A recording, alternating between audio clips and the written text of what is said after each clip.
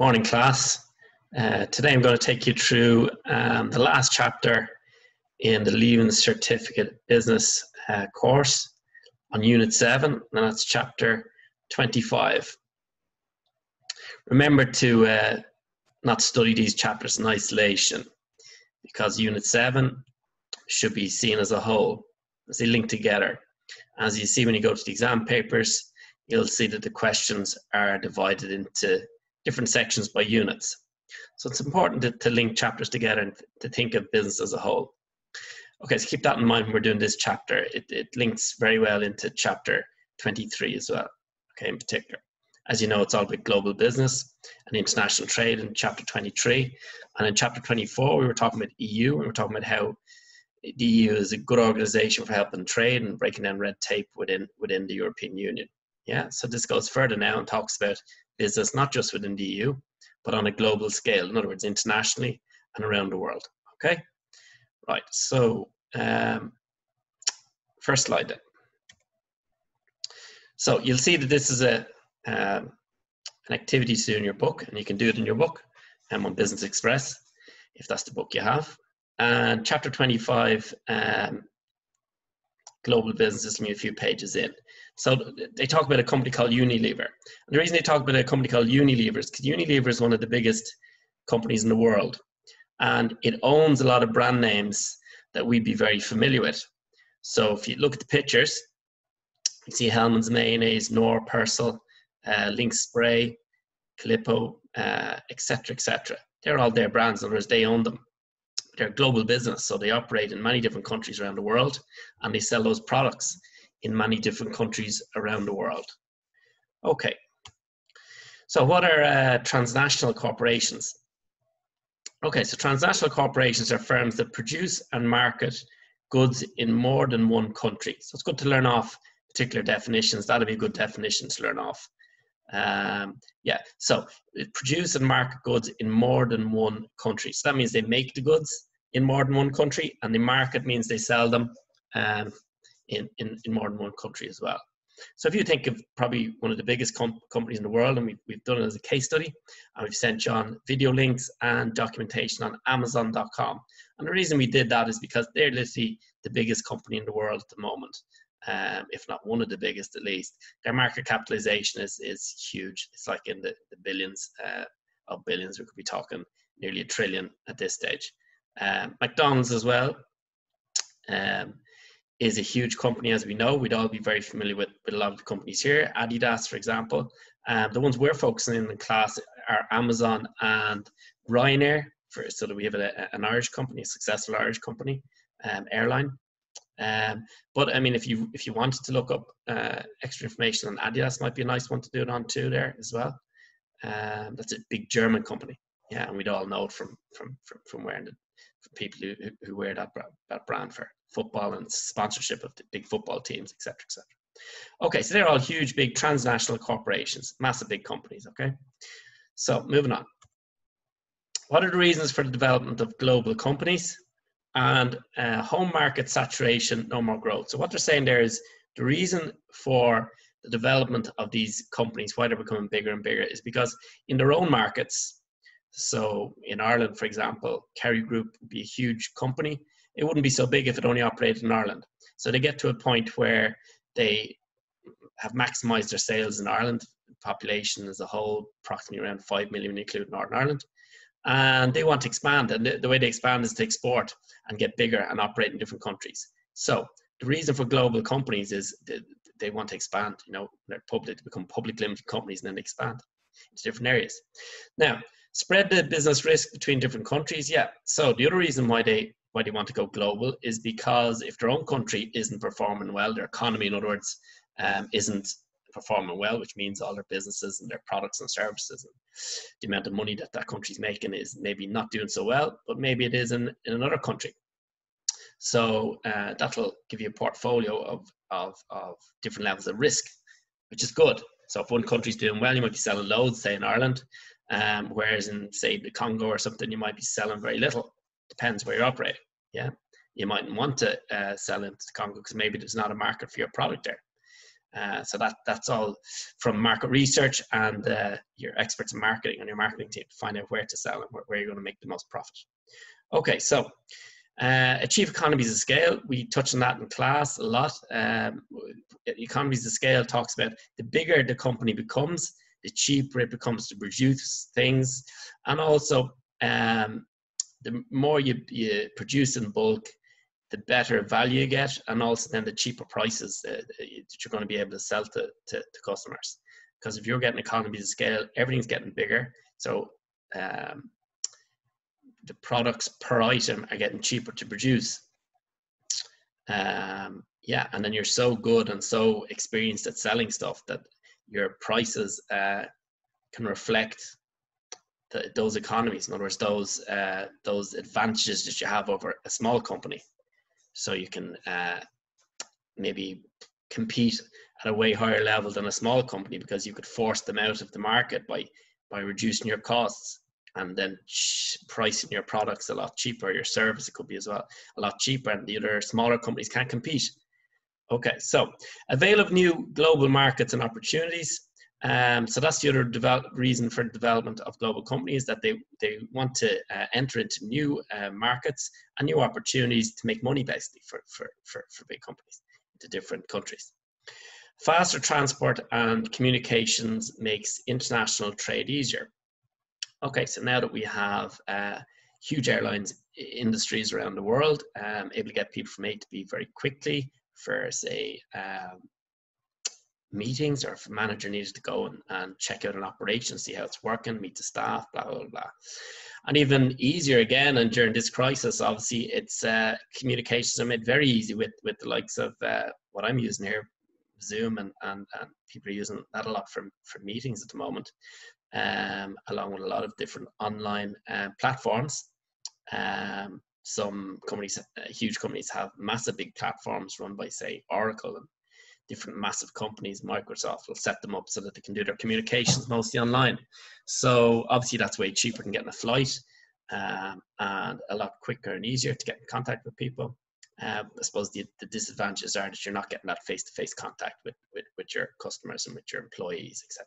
Okay, so uh, e-business makes selling global globally easier. Well, prime example for that is Amazon look at it, it during this crisis, it's actually perform outperforming every other com- company again. It's it's it's actually suiting it, if anything, this crisis because people are sitting at home and they're buying lots and lots online. So e-business means electronic business. That means buying and selling online. Um, e-business makes selling globally easier. So the fact that Amazon can reach countries in every country around the world, miles and miles apart, and easily sell to them. They've got distribution chains set up. They've got the direct link to a customer. So you and I in Ireland, but also uh, him and her, say in Australia or New Zealand or China or whatever it might be. So um, e-business is obviously uh, a lot easier nowadays than, than it used to be when we didn't have the internet, etc. Called marketing, and what we looked at uh, within that section and that unit was a marketing mix. And we said another word for marketing mix was the four P's marketing. And we should know off by heart that the four P's marketing are product, price, place, promotion. Um, there's more when marketing becomes more complicated, but that's all you need to know for the exam. For example, you could add, add in packaging. Um, you could add in people. Um, some companies do. But anyway, for the Leaving Cert, uh, it, it, it, limits it to, to, to four is all you need. But when it comes to global marketing mix, uh, what you need to know is that the product, price, place, promotion all uh, often have to get adapted or customized, in other words, which means changed to suit the local needs of local foreign markets. Now, companies operate this in different ways. So, uh, some will use a, a, standardized marketing mix, which means they don't do an awful lot of adjustments to their brand from one country to the next. And in other com- companies, because of the nature of their product or service, they have to change an awful lot. Um, think about it. If you're selling into, say, Israel, you're gonna ha- you might have to, because they have a good standard of English, might have to change into uh, different languages.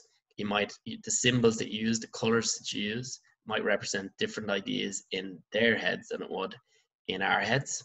Same if you were to sell um, into China Um, you're going to be using a lot of different symbols, complicated symbols, and you need expertise in that area. So your global marketing mix is going to have to be adjusted to the Chinese uh, culture, to its country, to its language, to the way it does business differently to us, etc., etc.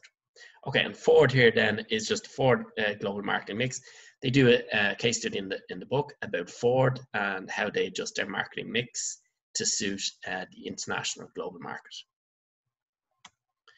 Okay, so what is a global marketing mix? So we've talked about uh, product, price, place, and promotion already. Okay, so global marketing means marketing or selling and finding out the needs and wants of your consumers and then selling them, selling into that need. So it means marketing a product globally, which means internationally, with broadly the same marketing mix as as though the world were a single marketplace. Okay, so what they're saying there is um, marketing your product as if uh, the world were like uh, very similar, homogenous, another word for similar, and you're you're not adjusting an awful lot of what you do.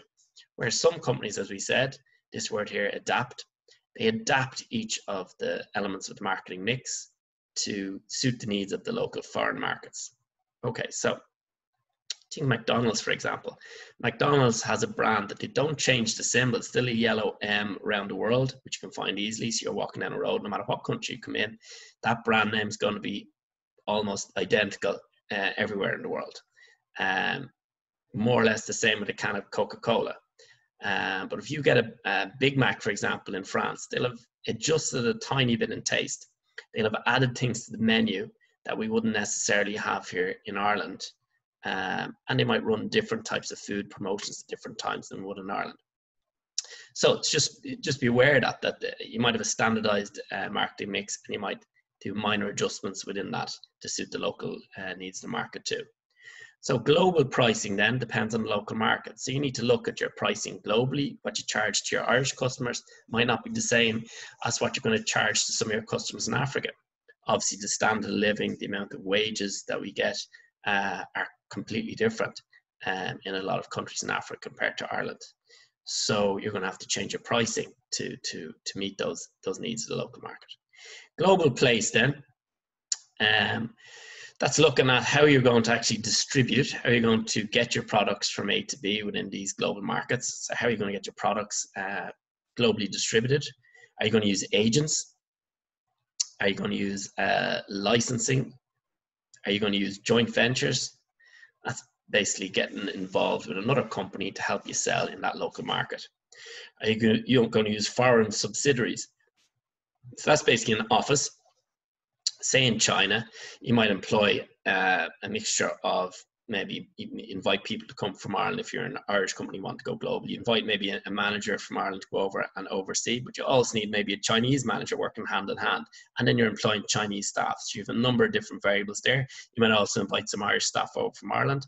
So that's a, a, a you know that can be it can be um, it can be worthwhile. and It can also be complicated to set up.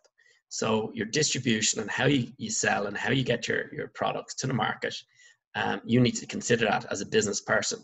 Are you going to go uh, distribute globally directly? That'd be like some Amazon online.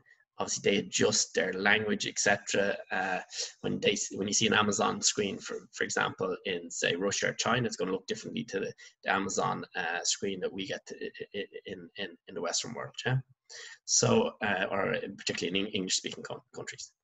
Okay, so um, the brand's going to be the same, but just the language obviously is going to have to, you can adjust whatever language that you want that suits the local needs. Um, but if you're not Amazon and you're a, company that needs to go out and, and uh, meet people, uh, maybe you're in building, you need to go and check some building sites out, see what way you're going to do it, blah, blah, blah. You're going to have to have a local office and you're going to have to have something like a foreign office uh, working for you abroad yeah could be an agent work in the in the country that you want to do business in say for example um, wherever it might be new zealand or wherever. And global promotion. So obviously this is a, can be a tricky one. For mcdonald's it's not too tricky. Everyone knows that brand and the coca-cola colors the mcdonald's colors they are worldwide. So you can standardize a fair amount of their um, advertising and promotions. Obviously you have to change language when when when uh, you're advertising to different countries, different languages, but you also have to take in the uniqueness of every country around the world where every country has its own uniqueness every country has its own needs every uh, country has its own interpretation and different understanding of different colors different symbols different messages.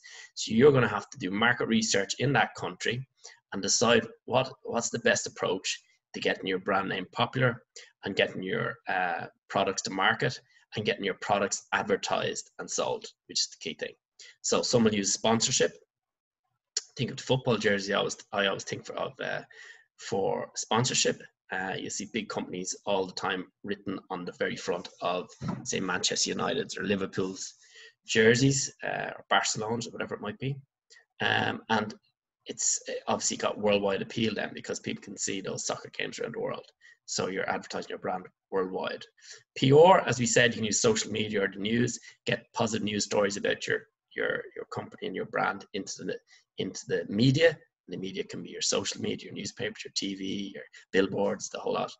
Um, the internet, obviously, there's ways of different. There's loads of different ways nowadays to promote in various different ways on the internet to attract customers. And then trade fairs is just say you have a, a company and you want to make it popular in the local uh, in the country that you want to operate in. Say you're you're trying to expand into France, for example.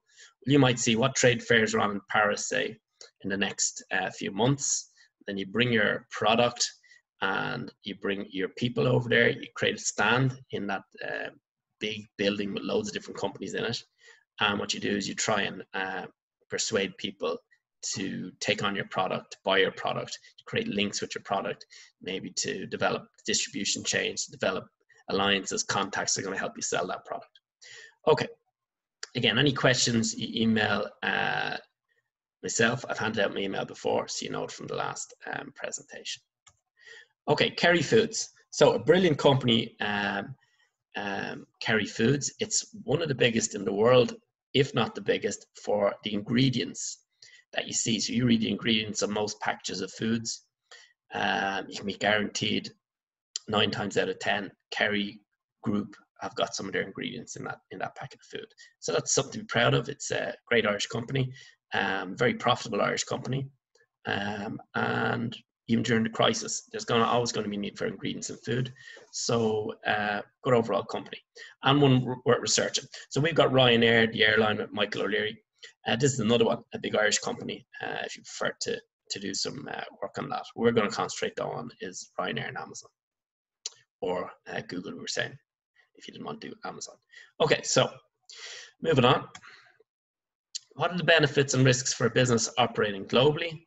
Okay, so the benefits then are of uh, of going global are you've obviously more countries that you can sell to. The more countries you can sell to, the more sales and profits you can potentially earn and make.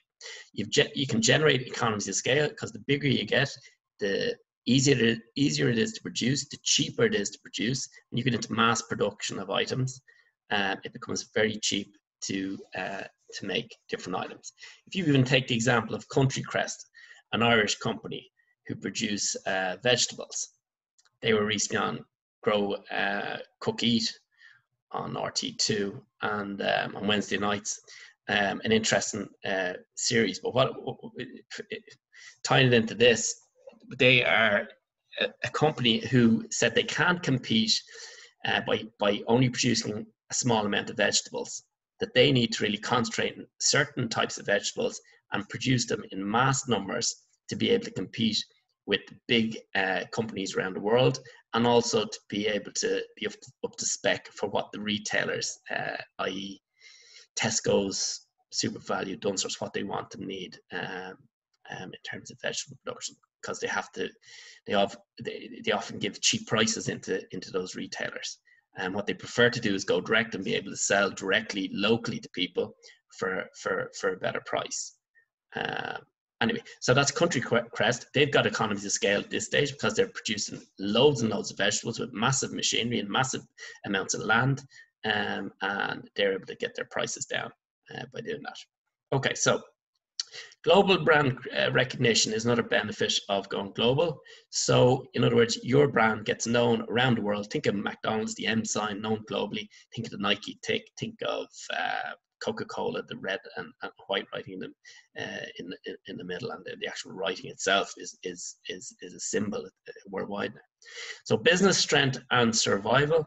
Um, so you're going to survive arguably better if people know your brand name and they know it's a brand name associated with quality and something that they really like.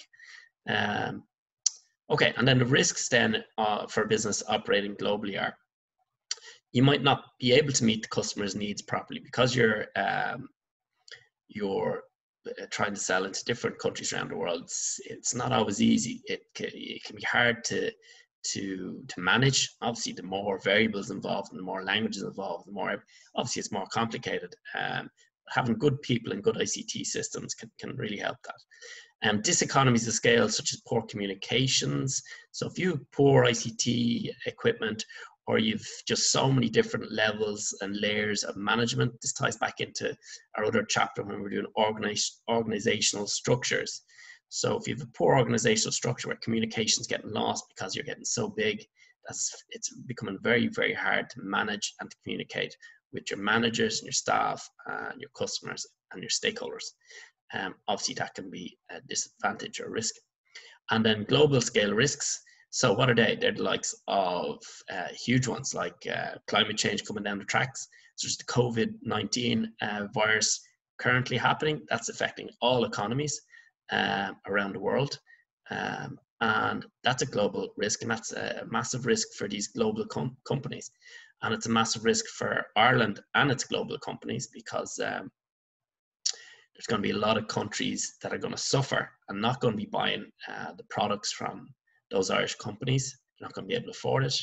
Um, they might have to scale back, in other words, reduce their employees, reduce their production in those countries, and reduce their sales in those countries out of uh, no choice because people uh, will uh, be losing jobs and people will be uh, will will have less money to spend on their products. So um, those global risks are, are, happening now, and also you have all sorts of global risks. You had the banking crisis not so long ago. You have um, things like food crisis from time to time. You've got uh, weather patterns that change food production, for example, that's a risk as well.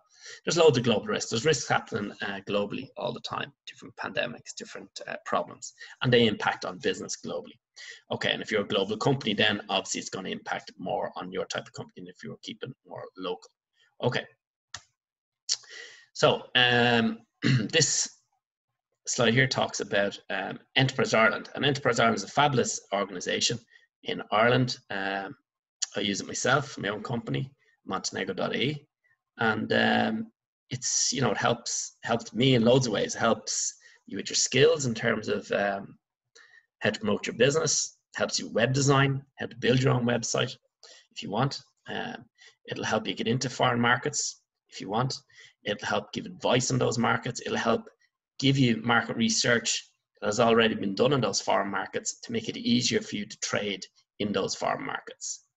Um, so market research is huge because that takes so much time and money and effort from people. It's great to have an organization that has done the work for you.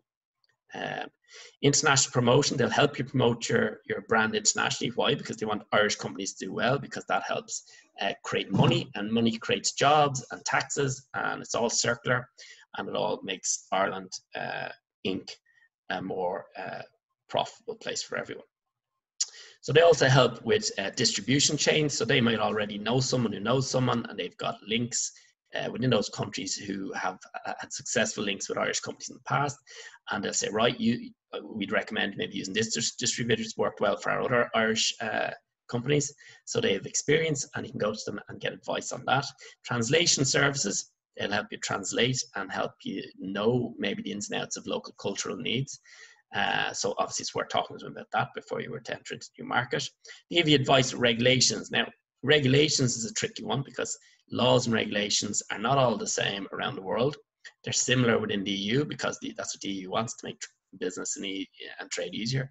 But if you go to other uh, countries outside the EU, their laws and their reg- regulations and the way they do, want to do business might be very different to the way we do business uh, in Ireland and within the EU. So you need to get advice on that. They also have grants, so that's uh, free money that you don't have to pay back.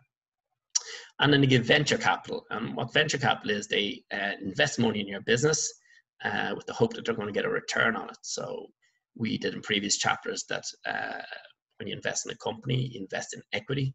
Um, so you take a share, you buy part of the com- company, and then you get paid things called dividends, which is uh, maybe a monthly check in the post. If your if your company's profitable, then you get payback from that company. And then if you want to sell on your shares in future, then hopefully the company's become bigger and you've made money, and uh, Enterprise Ireland has made money on your company, and they, they'd sell their shares maybe into the future. Okay, so moving on. Oh, that's it. Okay, so again, um, that ties up the, the unit seven. Um, I hope you've learned something and we were able to add a few key points into the slides that are there already. Um, again, if you have any questions, you have me online and um, please use that. Uh, services available to you. Um, best luck, keep well, bye bye.